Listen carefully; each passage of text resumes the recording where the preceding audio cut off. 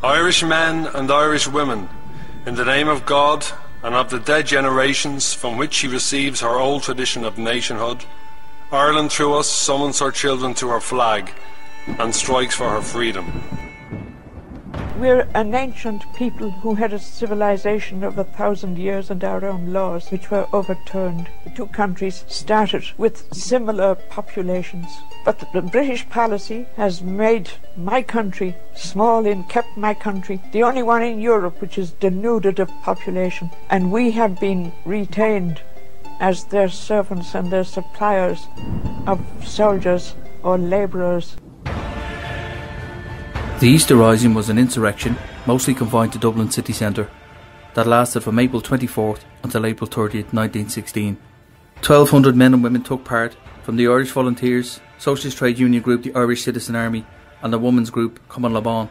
The rising was planned in secret by seven men, mostly of the Irish Republican Brotherhood, or IRB, who formed a military council. They were Thomas Clarke, Sean McDermott, Padraig Pearse, Thomas MacDonagh, Joseph Plunkett, James Connolly, and Eamon Ceannt.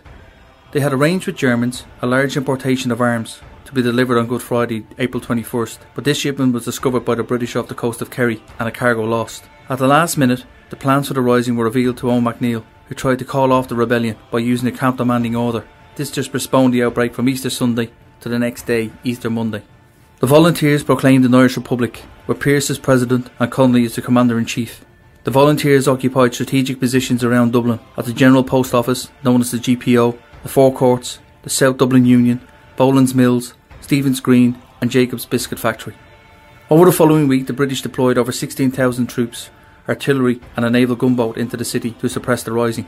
In a week's fighting, around 450 people were killed and over 2,000 wounded. The rebels' headquarters at the GPO was bombarded into surrender, which Pearse ordered on Friday, the 28th of April.